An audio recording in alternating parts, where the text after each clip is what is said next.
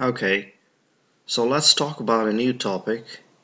But first of all, I want you to read about the pKa of a drug and how it influences the drug ionization in different body fluids such as GI fluids, blood, urine, etc.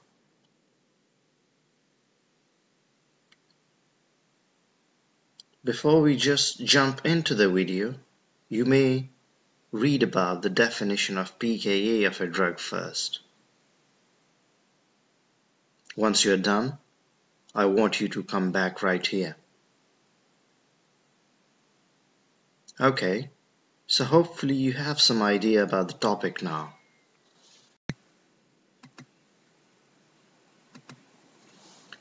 So pKa is the dissociation constant of a drug which may indicate the strength of a drug as an acid or a base in a given medium. As we all know that only the non-ionized or non-polar drug can cross the plasma membrane and the degree of ionization of a drug is largely determined by the pH of the medium and the pKa of the drug. So, pKa of a drug is defined as the pH at which 50% of the drug, acid or base, exists in its ionized or the hydrophilic form and its non-ionized, the lipophilic form, in a 1 to 1 ratio. In other words, the ionized form coexists with the non-ionized fraction a 50 to 50 percent or 1 to 1 ratio. The two forms of the drug, dissociated and undissociated, exist in the form of an equilibrium obviously. However, pharmacologically pKa values of a compound do not tell you exactly how a drug would behave in a solution and we will try to find out the answer to this question later in this video.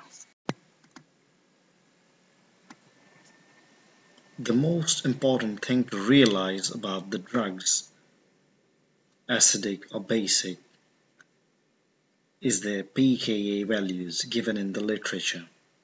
However, on technical terms, the only sure way to know whether a drug is acidic or basic is to learn the functional groups that confer acidity or basicity on a molecule. According to the well-known Bronsted-Lowry concept, also called the proton theory, which was introduced in 1923 by the two chemists, an acid donates a proton or hydrogen ion, whereas a base accepts a proton or a hydrogen ion when acids and bases interact with each other.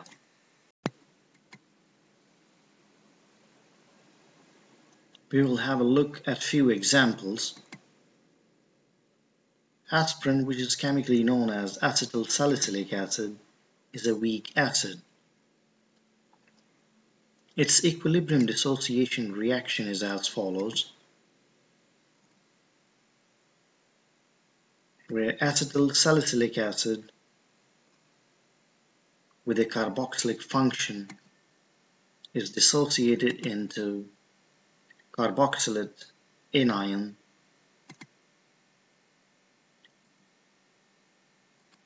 and of course it is a proton donor. As mentioned earlier, pKa is determined by the nature of the functional groups which play a part in the dissociation, like for example here it is a carboxylic function which has a pKa equal to 3, therefore pKa value of aspirin will be 3 and if you go through the literature, the pKa of the aspirin is recorded as 3.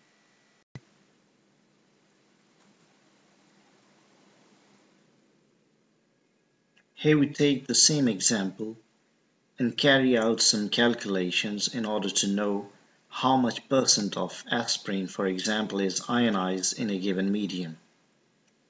As we know that pKa of aspirin is 3, pH of the stomach, for example, is 2, we use a modified and rather simple form of the Henderson-Hasselbalch equation which will calculate the percent ionization for us. According to this equation, percent ionization is equal to 100 over 1 plus 10 to the power x times pH minus pKa in parentheses.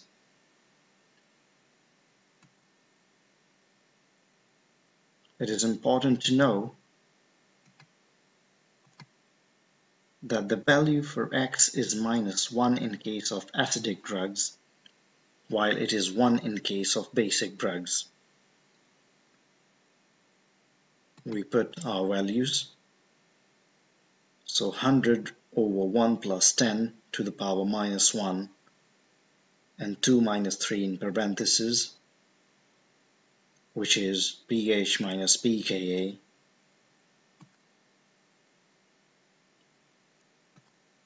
this becomes 100 over 1 plus 10 to the power 1 or 100 over 11 which is equal to 9% or we can say that only 9% of the aspirin will be ionized and the remaining 91% is the unionized fraction which could efficiently diffuse across the membrane. We take another example, this time with paracetamol, which is chemically known as N-acetylparaminophenol or acetaminophen. Paracetamol is considered to be a very weak acid. Its equilibrium dissociation reaction is as follows. where N-acetyl paraminophenol dissociates into phenoxide anion and a hydrogen ion chemically.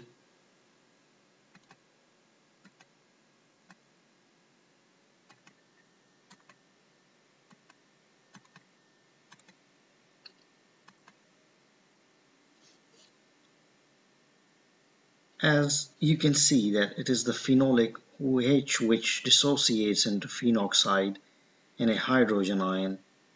And as we know that the pKa of phenol is 9.5 to 10 and it is considered as a very weak acid. Phenols are very weakly acidic compounds and therefore paracetamol is a very weakly acidic drug.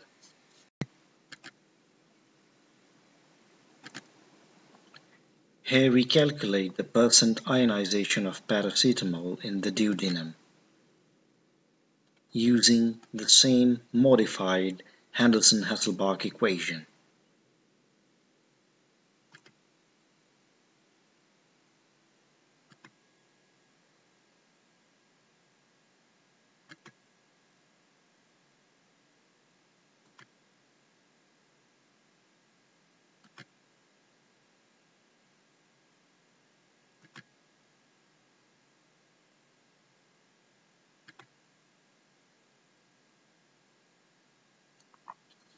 As you can see, no paracetamol is ionized in the duodenum and the whole 100% of the drug remains unionized at the duodenal pH.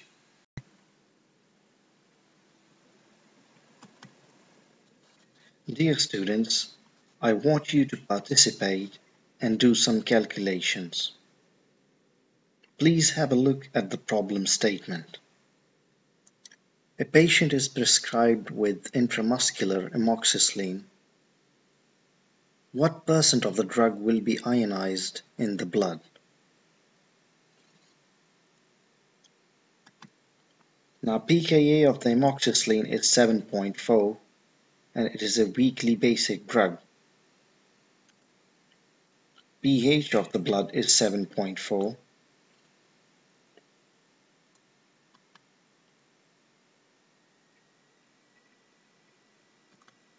For your convenience, the answer is given below.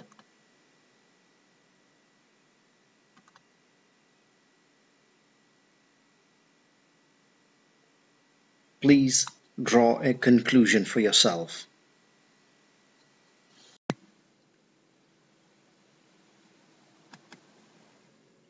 So, do not go anywhere because here is another problem for you to solve.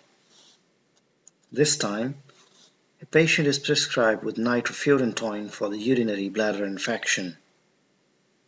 The question is, what percent of the drug will be unionized in the urinary system?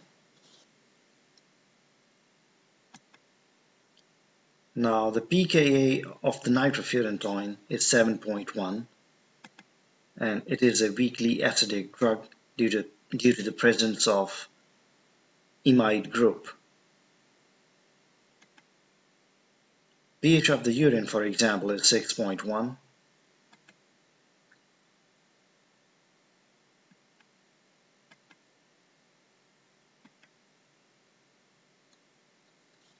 As you can see that only 9% of the drug is ionized in the urinary bladder, while 91% of the compound is unionized or in other words lipid soluble which is essential to kill the susceptible microorganisms in the urinary bladder.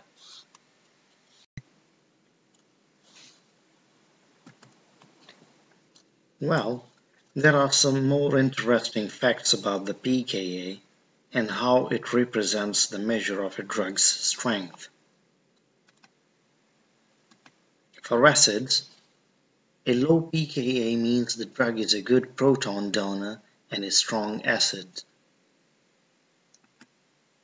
If pH is less than pKa by 2 units, means 99% of the drug is unionized.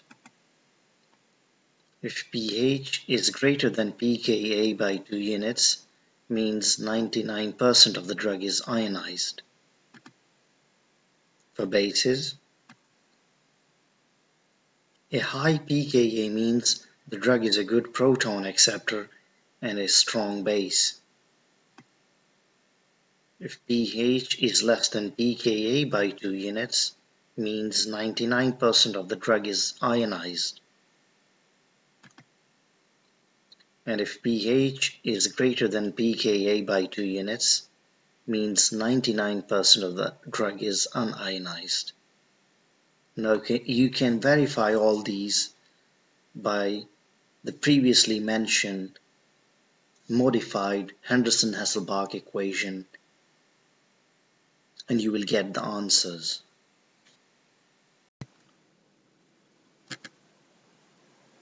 The literature mentions some more interesting facts according to which very weak acidic drugs have a pKa which is greater than 8, for example paracetamol. The pKa is 10. Moderately weakly acidic drugs have a pKa which could be between 2.5 to 7.5. The example is aspirin. The pKa is 3. Here I want you to think over it and recall your memory or you, you may please go back in the video and see the difference between aspirin and paracetamol ionization scenarios. And you can figure out the strength differences of the two acids. On the other hand, strong acidic drugs have a pKa less than 2, for example sodium cromoglycate the pKa is 1.9. Very weakly basic drugs have a pKa less than 5. For example, diazepam, the pKa is 3.5. moderately weakly basic drugs have a pKa ranging from 5 to 11, for example atropine, which is 9.7. Strong basic drugs have a pKa which is greater than 11. The example is guanethidine. The pKa is very high and that is 11.4. In the end, we would like to draw some very important conclusions. First thing first, all these scenarios could be more theoretical than practical. However, they can predict the acid-base nature of a drug in a given medium. The reason why we say theoretical rather than practical is because, for example, a weakly acidic drug such as aspirin, should practically be more readily absorbed from acidic mediums such as stomach. However, practically most of its absorption takes place in first part, the small intestine or the duodenum. Therefore, most students often get confused because theoretically the calculations tell a different story while the real picture is often quite different. Different research studies had concluded that the passive diffusion or absorption of aspirin was higher in duodenum than the stomach, which clearly shows that other complex pharmacokinetic and biological factors equally play a vital role in the process and the concept is not as straightforward as explained from the pH and pKa and all these calculations perspectives. However, it is very important for the chemists in drug discovery line to know the acid-base profiles or the pKa values of the new compounds in order to classify them on the basis of their functional groups. So we may conclude that pKa or the acid-base dissociation constant of a drug is a key physicochemical parameter which influences many biopharmaceutical characteristics. In short, the pKa profiling of drugs is influenced by two main drivers. First is the nature and occurrence of functional groups on a compound, while the other factor concerns the biological targets these compounds are designed to hit. Now you should be able to take this idea and go from there to do any kind of calculation and at the same time be aware of the practicality of these calculations in different biological environments. I hope this helps. Thank you.